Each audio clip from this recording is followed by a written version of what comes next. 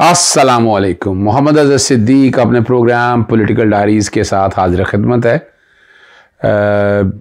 Specially मुझे request आई कि दो तीन चीज़ों पे मैं ज़रूर बात कर दूँ। जैसे साकिर निसार साहब के आ, क्या वजह है कि उनके किरदार को इस वक्त शेर बहस लगा है? हालाँकि पूरे प्रोसेस में कोई ऐसा मामला नहीं है जो ये साबित कर सके कि उन्होंने बहुत कोई ज्यादती कर दी है। ऐसे लगता है चीखें ऐसे निकल रही हैं। मिलने कहने को कुछ नहीं है। दूसरा मामला बड़ा अहम है कि जैसे ही मैंने वो आ, ये वीडियो या पैगाम अपलोड किया आज़म सवाती साहब के बाद तो इलेक्शन कमीशन मैदान में आ गया। उसने यानी मैंने जब चैलेंज करने का ऐलान किया तो वो मैदान में आ गया कि जनाब, हमने पाबंदी लगाई है, ये इलेक्शन कमीशन कह रहा है। ठीक है जी? और क्या इलेक्शन कमीशन का ये रोल है? क्या ताल्लुक है साफ़ शफाफ इलेक्शन करवाने? भी कैंपेन कौन सी हो रही है? वैसे ही पूछना चाहता हूँ। पंजाब में बता दे इलेक्शन कमीशन बता दे कि जब वो तंदूर और पता नहीं, इस तरह के इंतबी निशानों पर कौन इलेक्शन लड़ रहा है? ये इलेक्शन कमीशन बताया ना? यानी वो नोटिफिकेशन बैकग्राउंड पे मैं दे रहा हूँ कि जिसमें बताया गया कि जनाब ये जलसा जुलूस डिस्ट्रिक्ट एडमिनिस्ट्रेशन की, वो इजाज़त दरखास्त दी हुई है। तो वो देने के आप कौन है? आपका क्या ताल्लुक इस सारे प्रोसेस के अंदर? आप तो इलेक्शन ही कराना नहीं चाहते। आपने बाकायदा रिपोर्टें या जवाब जमा करा दी दिए कि हम इलेक्शन चौदह मई को करा ही नहीं सकते, कि पैसे नहीं मिले हैं। कोई इख्तियार इस्तेमाल किया हुआ आप इलेक्शन कराने के हवाले से, वो जरा कौम को बता दीजिएगा। मैं चीफ इलेक्शन कमिश्नर से पूछ रहा हूँ मेम्बरान इलेक्शन कमिश्नर से पूछ रहा हूँ। बता दें कि जहाँ आइन के आर्टिकल 220 का इख्तियार इस्तेमाल किया हो।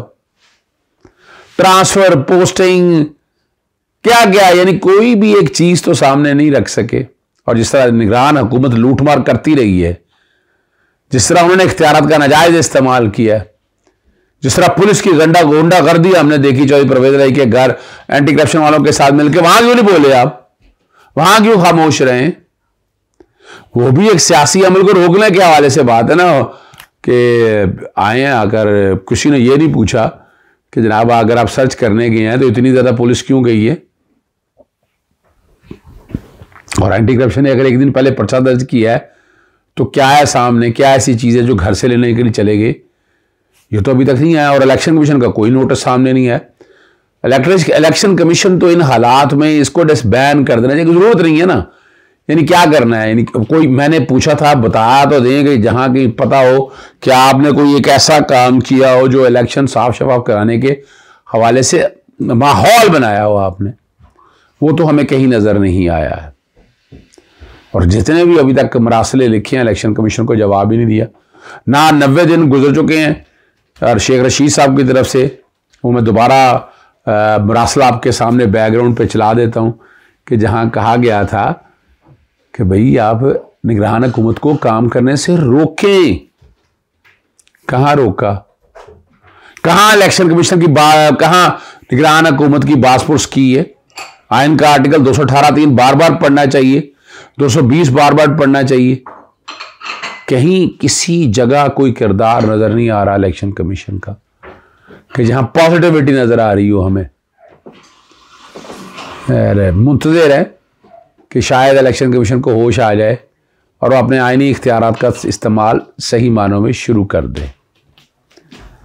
ये शुरू तो करना है, लेकिन इस तरह थोड़ा कि आप असल अकाई की छुपा दें और और कौम को गुमराही की तरफ़ ले जाएँ और जो इख्तियार आपको इस्तेमाल करना चाहिए वो आप इस्तेमाल ही नहीं कर रहे। अब डेफिनेटली बॉल जो है, वो सुप्रीम कोर्ट के कोर्ट कोर्ट में है, अदालत में है, और वहाँ बड़ी उम्मीदें हैं, और उम्मीद है कि सख्त से सख्त एक्शन लिया जाएगा। सबक से सबक सीखना चाहिए। अब आती है दूसरे मामले की तरफ़। और मैं इस पर ज़ुबान, मैं खुद बात नहीं करना चाह रहा था, लेकिन अब मौका आ गया है। कि जिस तरह को मिलाइन और बदनाम किया जा रहा है फॉर नो रीजन्स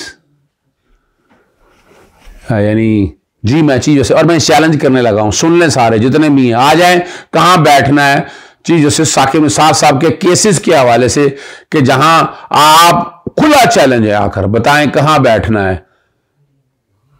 चीज़ें सागर में साथ साथ जाने की ज़रूरत नहीं, हम लोग हैं जवाब देने के लिए। पी के एल का जवाब कहाँ बैठना आए बताएँ, बताते हैं करप्शन दिखाइएगा जरा। निकाल के एंटी करप्शन ने क्या कर रहा था और नैब क्या कर रहा था जरा सामने लाएँ। किस तरह डॉक्टर सईद अख्तर ने इस इदारे को तबाह करने में कसर नहीं छोड़ी? किस तरह उसकी तामीर के अंदर अरबों रुपए की जो हेर फेर हुई है, जरा कौम के सामने लेकर आए। अच्छा वो अस्पतालों पे जाना और आना। और भाई जुडिशल एक्टिविज्म में मुफाद आमा में जितना काम जस्टिस साकिब निसार ने कर दिया, तारीख में इतना नहीं, किसी ने किया। ये आप हमसे पूछें।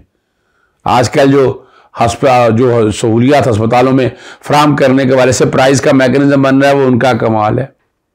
प्राइस उसके अलावा अस्पताल में जो सहूलियात हैं, और जहाँ जहाँ दिक्कत हुई, जहाँ वेंटिलेटर दस्तियाब नहीं हुए स्टंट के अब महँगे पड़ रहे थे, वो सारा उन्हीं का काम है। उन्होंने जिस तरह कोशिश की इस, हॉस्पिटल के निज़ाम को रिवाइव करने की ये ये आप उन लोगों से पूछिएगा जो प्रैक्टिकली उस वक्त सुप्रीम कोर्ट के साथ अटैच थे। चाहे पी की एल आई हो या जिस तरह हमने यूसीएच को रिवाइव करने के लिए बाकी हॉस्पिटल्स को रिवाइव करने के लिए बड़ी कोशिश और काविश की। ये उन उन, उन लोगों के मुँह पे चपेड़ है। फिर साफ़ पानी के हवाले से किस तरह यहाँ लूट मार कर रहे थे किस तरह कोशिश की फिर यहाँ दूध के नाम पर जो जो जहर बेचा जा रहा था। या आप कहें, हम कुदरती दूध से पीछे हट रहे थे। वहाँ बताया कि उसको दूध मत कहें। ये कोई और भी इनग्रेड जो मर्ज़ी कहेंगे खुश्क ये ये दूध नहीं है। ये दूध का नेमुल बदल नहीं है। फिर आपने देखा कि आइसक्रीम, वो डेयरी आइसक्रीम के हवाले से बात आनी चाहिए। और ये तारीखी तौर पर बात बता दूँ आपको। उन्होंने अपनी लाइफ कितनी सेक्रीफाइस की? एक लाख से जायद आज खुद नोटिस थे, जो आम लोगों के केसेस आए, बैठ के दिन रात काम किया। ये तो उन लोगों से पूछे ना जिनको रिलीफ मिला है। ये छियासठ सियासतदानों को तो मुसीबतें पड़ी हुई हैं। मुझे बता दें, कितनी आम आदमी जो है, वो सड़कों पे निकला हुआ आकर आज बातें करते हैं कि चीज़ों साकिब साहब ने साकिब साहब ने, आप तो आप तो एहसान नहीं भूल सकते। ये डैम वाला जो काम है, ये छोटा छोटा काम है। उसके लिए जितनी कोशिश की, वहाँ आबादी बढ़ने के हवाले से, पुलिस के निज़ाम में रिफॉर्म लाने के हवाले से जो काम किए, असल में हकाए की कौम को नहीं बताता, हमारी बार काउंसिल के अंदर कुछ लोग ऐसे बसे जो फ़ायदे उठाते रहे हैं, आज बैठे बातें कर रहे हैं। क्या किया किया उसने? क्या किया उसने? ऐसे क्या कर दिया? आप क्योंकि भैंस चुरा ली है आपने? उस इंसान की खिदमत है। खैर नाज में यनफा नाज जितना मर्ज़ी बोलते रहे, क्या निकला उसमें से? मैं मैं, चले। मैं आ जाता हूँ वो बड़े केसेस की तरफ़। अच्छा पनामा की तरफ़ आते हैं। क्या किया जी? चीज़ों से आज बता दें आप मुझे। आप बताएँ कहाँ क्या किरदार है? वो तो बेंच का हिस्सा ही नहीं थे। और ये सुप्रीम कोर्ट ने किया चीज़ का कोई कदम, कोई ताल्लुक नहीं है सारे मामले में। खुदारा क्यों नहीं आप समझते इस बात को? आज मैंने फिर लफ्ज चैलेंज करता हूँ। एवन फ़ील्ड वाला मामला जो है, वो तो उनसे पहले शुरू हो चुका था। जब वो चीफ जस्टिस बनने से पहले वो शुरू हो चुका था मामला। और ये तो रिकॉर्ड की बातें हैं ना सारी। आप जो मर्ज़ी कहें, जिस तरह मर्ज़ी चीज़ों को लेकर जाने। अच्छा नहीं लगता है। पहले तो लाहौर हाई कोर्ट में शुरू किया था हम लोगों ने, असद खरले और मैंने। लेकिन वो करप्शन सामने आने देंगे तब, है ना? उदैबिया में आज तक, यानी एक खरबों रुपया खा गए, डिकार मार गए, लेकिन सामने आया कोई चीज़। कोई कंसर्न उनका है किसी बेंच के अंदर वो शामिल हो। और वहाँ तो आ, मुझे याद है और मैं हकायक आज आपके सामने बताता हूँ जो मेरे साथ हैं। पब्लिक इंटरेस्ट में उनको अच्छा नहीं लगता था। और लाहौर हाईकोर्ट में आया यानी मुझे वो पसंद इस हवाले से नहीं करते थे तुम क्या पो प्रप्रो बनो पब्लिक को उठा लाते हो? फिर तारीख के दायरे में एक वक्त आया कि सुप्रीम कोर्ट में यहाँ से हमने सरचार्जिस का केस जीता। सुप्रीम कोर्ट में हेयरिंग थी। चीफ साकिब निसार साहब हेड कर रहे थे जस्टिस राइट हैंड पे। जनाब जस्टिस शेख अजमत सईद साहब थे लेफ़्ट पे जस्टिस काजी फायज ईसा थे। वो केस लगा सुप्रीम कोर्ट में सर चार्जेस का। तो यहाँ केस हम जूझ चुके थे। जस्टिस सईद मंसूर अली शाह और जस्टिस आयशा मलिक तो अगले सालों में भी स्टे की कोशिश की या स्टे ना लगा तो केस लग गया। जनाब जस्टिस सागर साहब के बेंच के, उन्होंने मुझे बैठे देखा तो जुडिशल एक्टिविज्म पैनल मेरी एक एनजीओ है। उनका क्या मज़ाक यानी बैठे किसी और केस में, क्या मज़ाक में जिसका दिल चाहता है जुडिशल एक्टिविज्म उठाकर ले आता है? तो मैं वहाँ उठ खड़ा हुआ। मैंने कहा माई लॉर्ड ये मेरा केस है, मैं आऊँगा। मैं आऊँगा। इस पर जस्टिस आजमत सईद बैठे थे, उन्होंने कहा लैंड काउंसिल बैठो बैठो। कुछ टाइम के बाद बारी आ गई, मैं कोने पे बैठा हुआ था। और केस शुरू हुआ, मखदूम अली खान, सलमान राजा सारे आए और केस वो एडजर्न हो गया। तो मैंने कहा, ये अर्जर्न कैसे कर दिया? नीचे नीचे वाले केस नहीं है, वो चल रही है इस केस की वजह से। उन्होंने कहा, हम वो भी स्टे कर देंगे। मैंने कहा, नहीं, आप नहीं कर सकते स्टे इसमें क्या क्या कह रही हो तुम? मैं कहा, जी नहीं, आप कर सकते स्टे तुम्हें पता तो ही अदालत की कार्रवाई कर सकते हो हमारे खिलाफ। अच्छा इतनी देर में पहले पीछे देखा मखदूम मखदूम अली खान साहब बोकला सारे पीछे चले गए, मैं अकेला था, मैं कोर्ट के सामने आ गया, मैं मुकाबला करने के इसमें जैसे शेख अजमत से ने कहा लैंड काउंसिल बैठे बैठे और मुझे बिठा दिया। उस वक्त मैंने तहिया कर लिया था इस सारे मामले का, कि मैं इस सारे मामले को लेकर चलूँगा और मैं उधार नहीं रखता, मैं याद रखिएगा तारीखी तौर पर बता देता हूँ। फिर क्या हुआ? पनामा वाला मामला शुरू हुआ। और, रावल लॉन्च में निहाल आशमी वगैरह बैठे थे, वो मामला चला कि कोई डील हो गई है। तोहन अदालत की कार्रवाई शुरू हुई। और अमीन अली मुस्लिम के पास ये केस लगना था। दिन चैनल में महमूद सादक ने बुलाया इफ्तार काजमी साहब थे। तोहन अदालत के नोटिस जारी हुआ था कि डील हो गई है। और, उस वक्त मैं लंबी बात नहीं करता। मैं इफ्तार काजमी और बाकी को रिप्रेजेंट करता था, मैं गया सुप्रीम कोर्ट में। मैंने तहिया किया था कि मैं अगर बात हुई तो मैं सामने बात करूँगा और वहाँ अदालत के सामने लंबी बात ही मैंने करनी। और मैंने सिर्फ़ कहा कि अनकंडीशनल अपॉलोजी जजमेंटल एरर इस वक्त ये रिकॉर्ड पे बता रहा हूँ जस्टिस साकिब रिसार साहब, जो सो चीफ जस्टिस नहीं थे, उन्होंने फिर बताया कि अपने वाले साहब का किरदार, फिर उन्होंने रोस्टम पे कलमा पड़ा था कि वो इस सीट का कर्ज अदा करेंगे। और जो अजहर सिद्दीक सोची बैठा था कि नहीं, इनके खिलाफ मैंने बहुत कुछ करना है। मैंने अंदाज़ा लगा लिया, ये इस कौम की तकदीर बदलेगा, ये आदमी। मैंने जो गुस्सा था, मैंने निकाल दिया और उसके बाद तारीख गवाह है।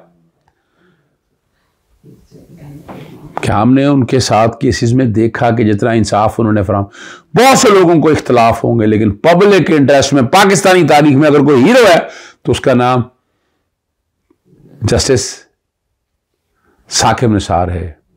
इफ्तार चौधरी वो नहीं कर सका जो काम उन्होंने किए। तारीखी काम है। जो मर्ज़ी जाते रहे डैम के आज आज ग्राउंड पे शक्ल बनाई तो उन्होंने बताई। है और ये भी चैलेंज है पैसा सेव पड़ा है।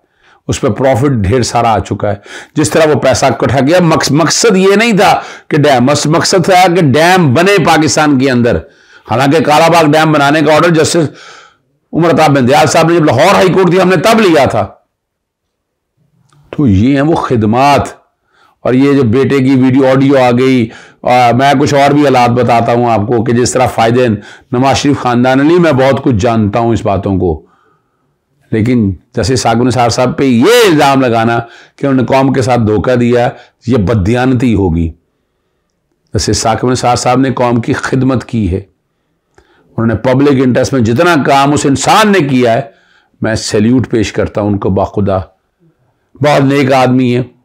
आपको यानी कुछ भी नहीं मिला, आपको जरा वो टिकटे शिकटे, खुदा रहा जुल्म है आपका वो तो खुल के सामने नहीं आया, जिस दिन वो बंदा खुल के सामने आया, तुम्हें भागने के लिए जगह नहीं मिलेगी। बहुत कुछ जानते हैं वो, करतूते जानते हैं तुम लोगों की। लेकिन उन्होंने जो एक तहिया किया, दो साल गुजर चुके हैं उनके, वो सारा कुछ बता सकते हैं। जस्टिस आपके सामने एजाज अफजल साहब ने सारा कुछ सामने आपको बता दिया। कच्चा चट्टा खोल के रख दिया एवन फ़ील्ड का और वो सारे पनामा के केस का। और क्या चाहिए आपको? आप याद रखिएगा ट्रैक्शन में फिर चैलेंज कर रहा हूँ आपको। कोई भी, इन सब में से आ जाए रिकॉर्ड पे जितने हैं अता ने आना है, अहमद खान ने आना है, मुसद्दक मलिक ने आना है राना सनाउल ने आना है राहुल तार ने आना है शहबाज शरीफ ने आना है, नवाज़ शरीफ ने, मरियम ने, मरियम, कोई भी इनमें से मेरा खुला चैलेंज है इन सब लोगों को। जैसे साकिब नसार की खिदमात, हम खड़े हैं डिफेंडर, और फिर बताएँगे इनको कि ये जुल्म किसने किया है। वो शरीफ आदमी है, खामोश बैठा है। मुझे इख्तलाफ है उनकी कई बातों के ऊपर। और जनरल कमर जावेद बाजवा ने जो रोल प्ले किया है, मैं वो नहीं ज़िक्र करना चाहता मैं इशारों में बात करता हूँ। लेकिन याद रखिएगा जैसे साकब निसार साहब के हवाले से बहुत हो गया। सुप्रीम कोर्ट के बारे में इस तरह के अलकाबात बहुत हो गया। अब हम बर्दाश्त नहीं करेंगे। इजाज़त चाहता हूँ। अलैक्म अल्लाह हाफिज़, पाकिस्तान जिंदाबाद।